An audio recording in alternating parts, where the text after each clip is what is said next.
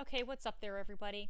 I hope you're having a good one, and we are going to be looking at the Terry Bogard video movie trailer reveal. They revealed this at Evolution 2024 just very recently, and let's play through this and see what is going on here. We're then, of course, we're going to go through it for a second time and pick out all kinds of fun and special information along the way. So, here we go.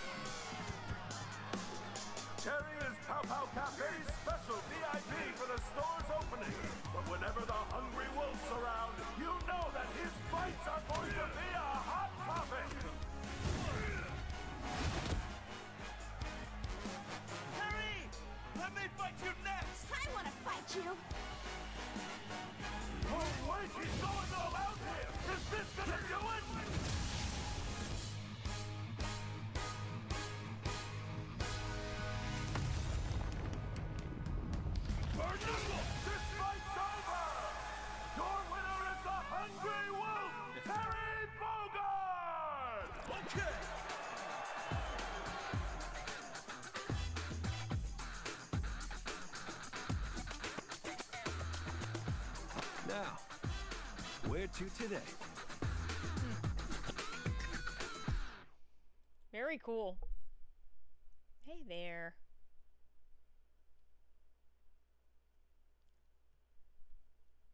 That's funny. That's right, absolutely. Yeah, so um so we just saw a video there for Terry Bogard and we're going to start picking through this and then we're going to go into we're going to go into all of that including um the breakdown of his outfit and everything.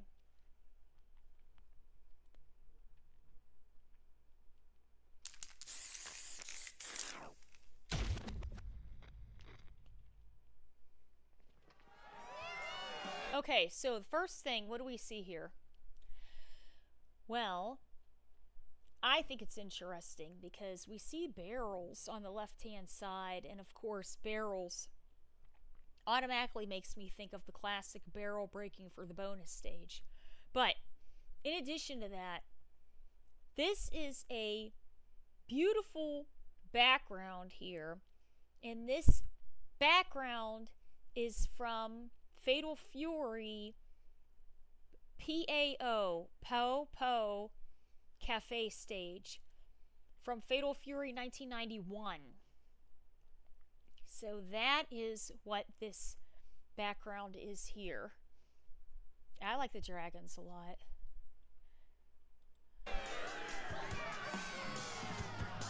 Okay, so here we go. And what we're seeing is Terry Bogard, right? So we're seeing a guy, um, and he's, you know, obviously athletic, um, like a very muscled, athletic. Now he's not a huge guy, like this guy right here, but he's maybe average height, but uh, built, but not huge. Pao Pao. Oh, there it is. They just said it, Pao Pao Cafe. So, what else are we seeing? He's wearing blue jeans, uh, the ripped white t-shirt, his um, red vest, and the red cap, blonde hair pulled back. So, his creator, who worked at Capcom, and that's Takashi Nishiyama worked on Street Fighter and worked on Street Fighter 2. And he wanted the main character to be Terry. Terry Bogard. But the name wasn't going to be Terry Bogard, it was going to be Joe. And he had Joe in the very beginning of Street Fighter 2. He's the guy that throws the punch right before you start looking up the building and it says Street Fighter 2 at the top of the building. Excuse me. That's Joe. So when Capcom in general said, we want to move forward with Ryu, and you know, some other things had happened there. Uh, Takashi said, you know what, I have a very good opportunity to work at SNK because they were offering him a very good position and um, basically more control. So he left Capcom and he went to SNK and created Terry Bogard, which, if you really look at it, Terry and Ryu at the end of the day are both re- wearing red and white. It's just that one has emphasis, more emphasis on one color than the other. Uh, Terry in using uh, jeans also. Special VIP for the store's opening. But whenever the hungry So when they did the Ed reveal and they showed Ed swaying and they showed Ed's kill kill run and and then they had his different moves, you know, the psycho upper, psycho knuckle, um I think he had a machine gun in there. They had that and they were using that also in the game.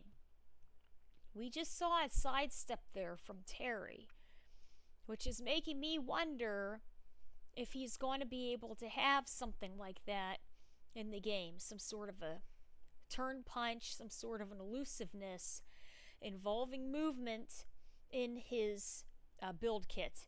around, you know that his fights are He did it again, but he got hit that time. His hat, his hat got knocked off.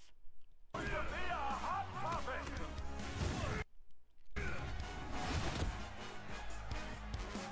Terry!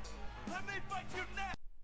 Now, this guy here, they tried to have characters that are also callback characters to Fatal Fury, but they're not the exact characters, right? But but they're built on what the characters would be. So this character here is supposed to be Joe Higashi, and he has the band on his forehead. Then this girl here is um, blonde and she's wearing red and blue, right? And I believe she's supposed to be Blue Mary. Wait, he's going all out here. So then he basically, and and we're going to talk about this too, um, is leveling himself up, and he is going into his burn knuckle Buster Wolf move, where he's going to shoot forward for his special enhanced uh, lunging punch. Is this gonna do it? Okay, now that person right here is supposed to be Andy Bogard. So this is Andy Bogard, Blue Mary, and Joe Higashi. And they're all going, oh my gosh, Terry is going to punch this guy really hard. Bam. Now, it's going to be interesting to see if this is going to be sort of like the Psycho Crusher. Is this going to have some sort of invincibility through projectiles? Is this going to have an invincibility through projectiles maybe uh, at the first couple of frames on startup? We don't know. It's it's very very very early. He looks good.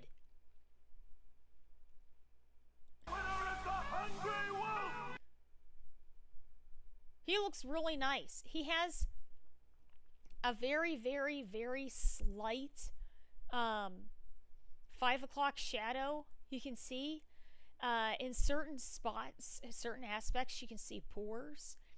Um, I think they did a great job on his eyes. he looks he looks very good. He looks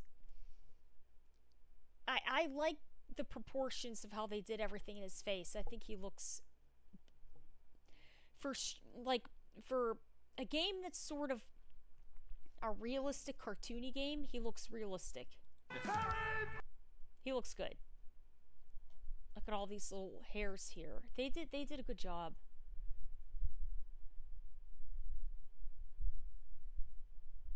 Yeah, they did a really good job with him.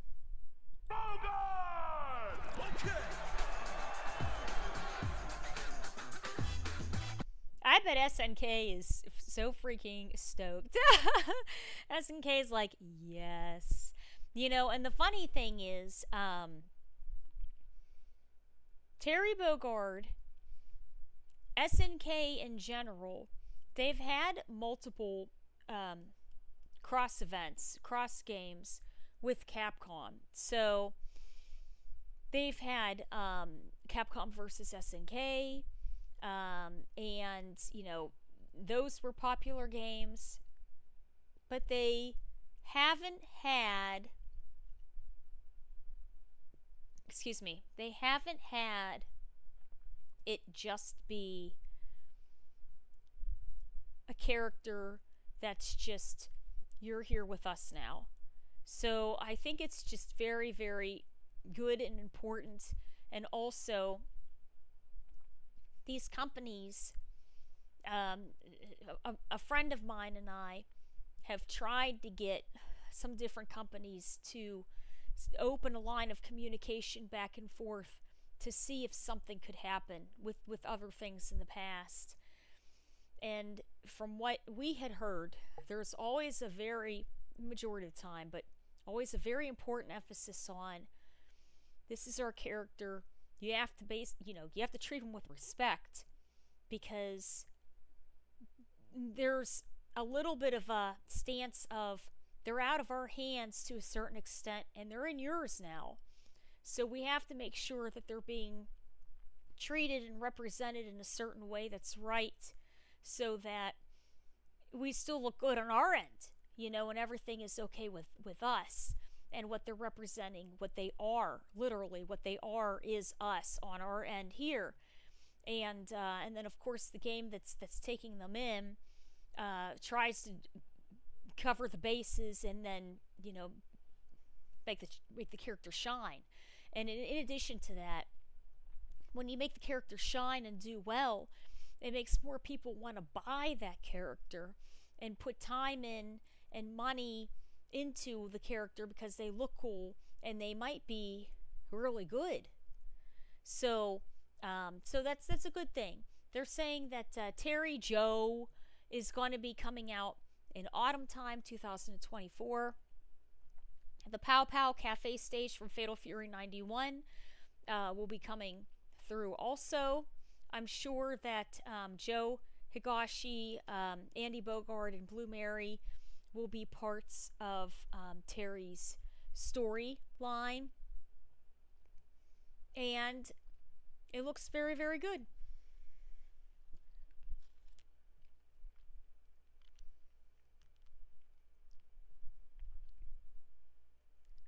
The guy he's fighting is supposed to be Lau from Real Bout to Intro. Very interesting. That's a good pickup. That's a really good pickup, Kenny. That was good. Yeah, and um, a lot of people are, are hoping that he's going to have his, well, a bit of his kit from uh, from KOF. But the interesting thing is, is this. So, what the uh, Street Fighter trailer showed was, this is a Street Fighter game, right? This is a Capcom game. You're in our world now, but you're still doing a nostalgia reminiscent move of your world. So that was right there, and that was the only offensive attack that he did. So that that's saying a lot. But in addition to that, I'm sure that he's going to have things that are going to be specifically built and fit to the Street Fighter 6 engine. So we're going to have to see what um, what those things are, and I bet there'll be new things, which is exciting. Yeah. But very very cool there. Very cool. Um,